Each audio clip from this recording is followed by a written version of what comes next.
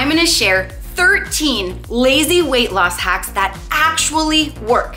And I know they do because they helped me lose 130 pounds and keep it off for eight years. Number one,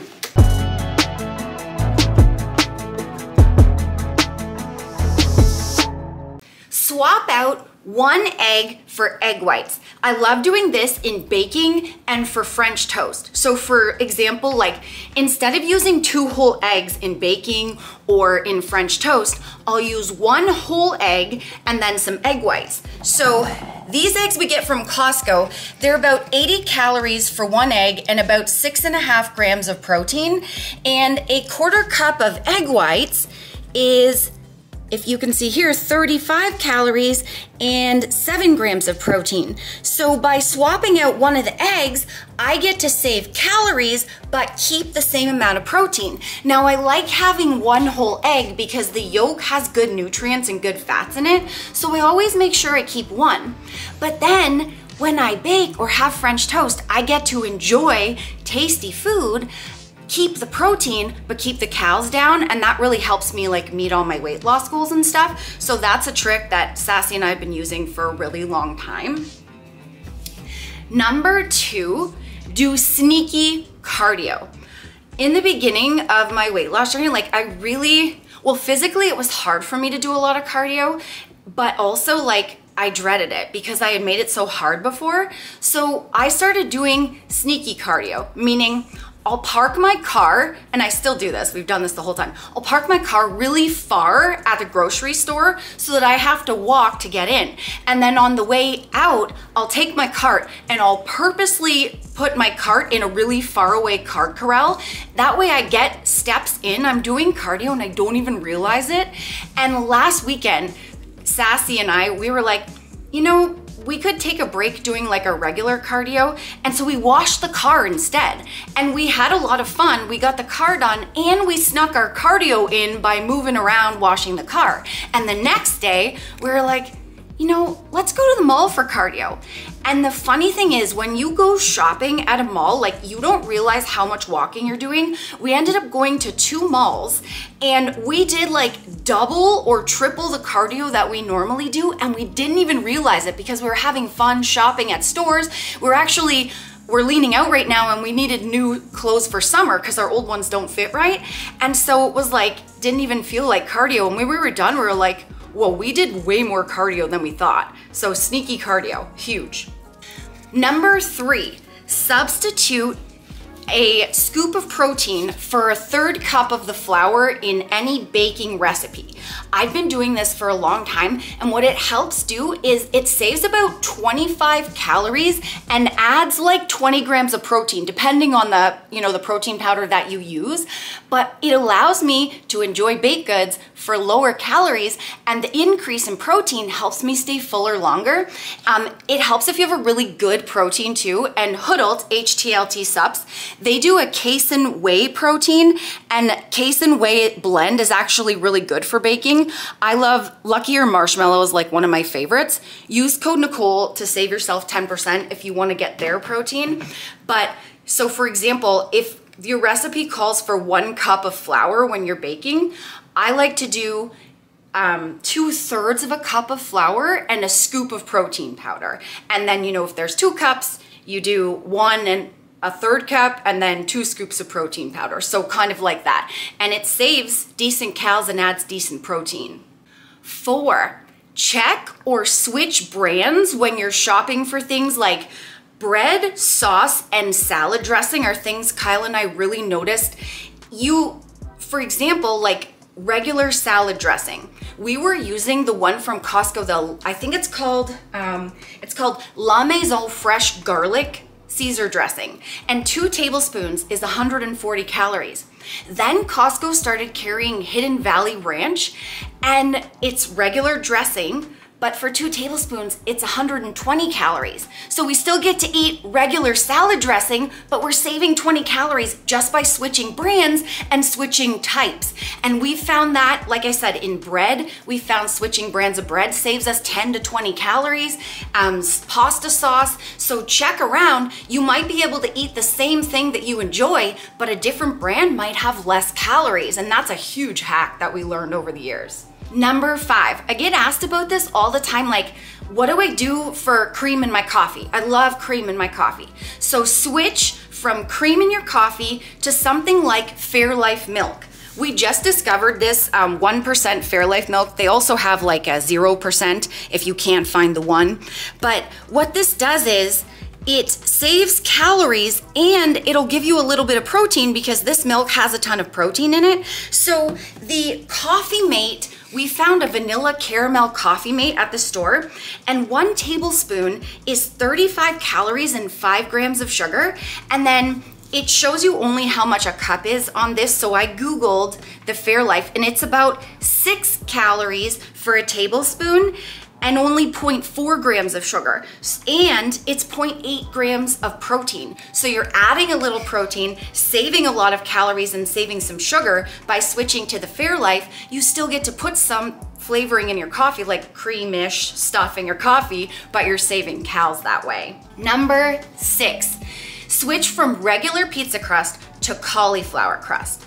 The one we found at Costco, it's called Molinaro's cauliflower crust. We love it. It really, like, if you gave it to someone and didn't tell them, they would not know it's cauliflower crust. I always want the ready-made pizza crust, but it's a lot of calories. So on a normal day that's not a cheat day, I'm like, oh, I really want it, but it's too many calories. So the cauliflower crust, for a quarter of the crust, it's 130 calories, and then you add 15 calories for a quarter of the package of sauce that it comes with. So a quarter of the pizza is 145 calories. The Molinaro's regular pizza kit that's right beside it, the regular crust, for a quarter of the crust and the sauce, it's 200 calories. So you're saving quite a bit of calories just by having a cauliflower crust. And when you top it, it's like you wouldn't even know really. Like it's so good. So you get your pizza and you save cows all at the same time.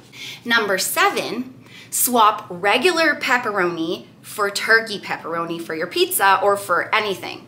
We love pepperoni and these Grimm's turkey pepperoni from Costco, they're 50 calories a stick and they do not taste like turkey pepperoni. Again, like you wouldn't know if you gave it to somebody, they wouldn't be able to tell. So if you eat that instead of the Piller's regular ones, so for two of the Piller's regular pepperoni sticks, it's 210 calories and 12 grams of protein. If you eat two of the Grimm's uh, turkey pepperoni, it's 12 grams of protein and 100 calories. So you're saving yourself 110 calories and keeping the same amount of protein. So you still get pepperoni on your pizza. Number eight, this is a sassy special and this has saved us money and calories.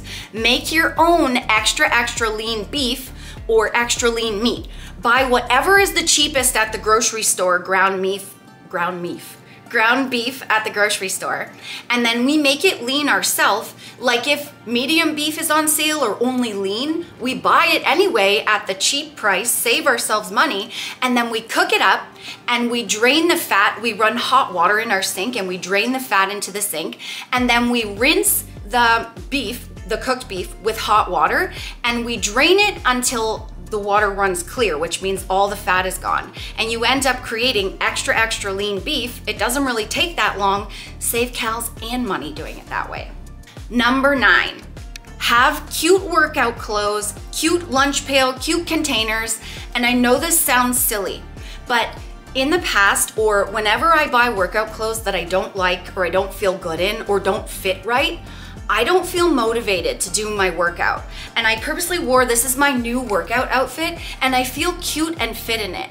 And it makes me put so much more present like effort into my workout when I'm spending time worrying about my outfit because I don't feel comfortable or it doesn't fit right. I don't put the effort into my workout the way that I would want to. And when I was overweight, if I didn't like what I was wearing, I usually would skip the gym if I didn't feel comfortable in it, or I wouldn't do cardio outside at all. I would just hide. When I feel good in what I'm wearing, it motivates me to keep going. It's the same with having like a cute lunch pail. I look forward to like packing my lunch because I love it, or cute pink containers. It's just like, something like, oh, I can't wait to pack these. Look at this. You pull this out of your lunch pail at work. Look at this. It's like exciting. If you feel good in what you're wearing, if you feel good with what you've got to pack stuff in, it's so much more motivating to stay on track. And it might sound silly, but it really does make a difference. Number 10, have a grocery list and an idea of the meal plan that you want for the week when you go groceries. So this is literally what I use for grocery lists. They're just post-it note stickies. And as you can tell, I've already started. Uh, this is how I lay mine out. I put all my staples that we're running out of on the side and then anything I need that's not groceries here. But what this does it gets rid of any excuses or impulse buys. Like when I go in the store, if I commit to only buying what's on my grocery list and I bring a pen and I cross everything off as we get it so that I don't forget, if I went in without a list, I would grab all the good looking stuff. Oh, I want this, I want this, I want this. I would forget my staples. So, like, I would forget all the stuff I eat on a daily basis. And then I would end up eating things during the week that I really didn't want to. It's so much easier to go off track when you don't go in with a grocery list and you don't only buy what's on the list. And what I, I also do with the list is I include treats on the list because if I take away treats or don't, you know, buy something that I look forward to eating in the cart, like mini chocolate chips or cereal for my protein ice cream, then I'm not likely to stick to what I'm doing. So I do include treats on the list as well, a good balance on my list. 11, make your own kettle corn. This is another sassy special. He came up with this. So this is crazy, but the Orville Redenbacher has a sweet and salty kettle corn microwave bag. For one bag or like nine cups popped, it's 360 calories.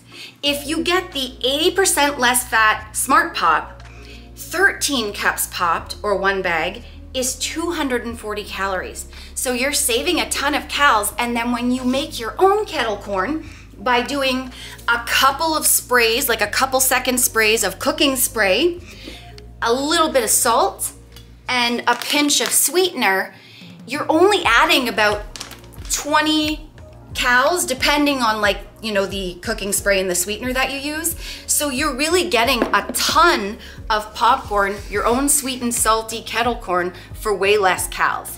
12 flavor your own foods like oats and yogurt.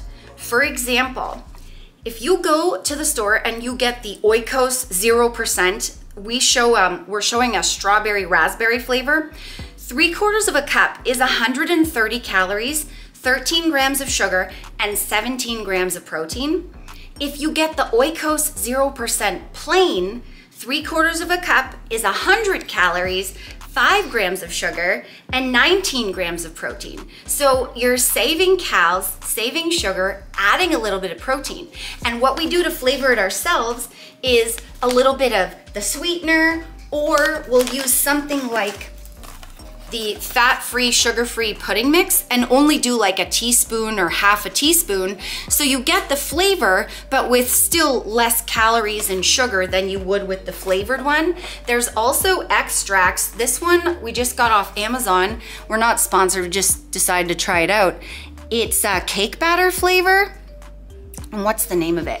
Lor LorAnn oils it flavors stuff without sugar and not really a ton of calories. And it really tastes like vanilla cupcakes actually. And then oatmeal.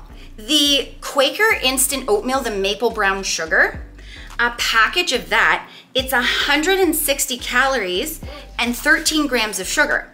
Where if you get the great value quick oats, it's half a cup, a serving, is 140 calories and zero grams of sugar. And then if you sweeten it yourself, to make your own maple brown sugar, I like to use the Steve's Maples low calorie like pancake syrup. It's four tablespoons is like one calorie. And then I would only use a tablespoon. And then I get the Truvia brown sugar blend and half a teaspoon is only four calories and one gram of sugar. So you're really not adding a ton of calories and not a ton of sugar. You're making your own instant brown sugar oatmeal and saving cows. Numero 13, number 13. Count your cooking spray sprays. A lot of cooking sprays will show you like that there's zero calories on the can, but companies don't have to put calories if it's under a certain amount. So just because it says zero, it doesn't mean that there's no calories in it. So for example, this one actually tells you half a second spray is five calories. I used to, before I knew this, I would do like five to 10 second sprays. So that's like 50 to 100 calories of cooking spray. Now I'm really mindful of that and I try to really count my sprays, like no more than two to three seconds of spray. And later in the day, I was never once in my life going, oh, remember how good that cooking spray tasted this morning? So you don't even, a lot of these hacks, you don't even know it. And that's the key to all of it, tricking yourself. Exactly. Like tricking yourself to you, you, get to love what you're eating, but you don't realize that you're actually consuming less calories or like sneaky cardio or wearing a cute outfit and you're like, yes, I can't wait to do cardio today because I look cute today. you know, that's like. It's not about punishment. Exactly. And that like Sassy Bubba camera friend, my cute husband, he's lost the same amount of weight as me 130 pounds. We've both kept it off for eight years. And we've used these hacks. We've discovered some along the way, some of them we've done from the beginning. They make it feel enjoyable. And that's what we learned sustainable weight loss is all about. We made it a punishment before we found what worked. When it worked, we love what we're doing. It feels fun. It should be fun. And that's my saying. If it's not fun, you're not getting it done. You gotta love what you're doing. So, the friends, I hope this helped you. Check out this vid and this vid because we share tons of fun and sustainable weight loss tips in these vids and like we do like this all day and be cute. And if you wanna know exactly exact portions and meals that I ate to lose the weight, check out my weight loss ebooks. But I also have the first 50 is exactly how I started, my exact portions, exact meal plans. Code Nicole, save yourself 10%. I love you. I hope you enjoyed this. Thank you so much for watching. Thanks for your love and support, sweethearts. I can't wait to catch you in the next one, cutie. Peace. See ya. See ya. Remember the friends that weight loss isn't just about the number on the scale. It's also about here and here. Heart and mindset. Fight through it. You can do it. Don't give up.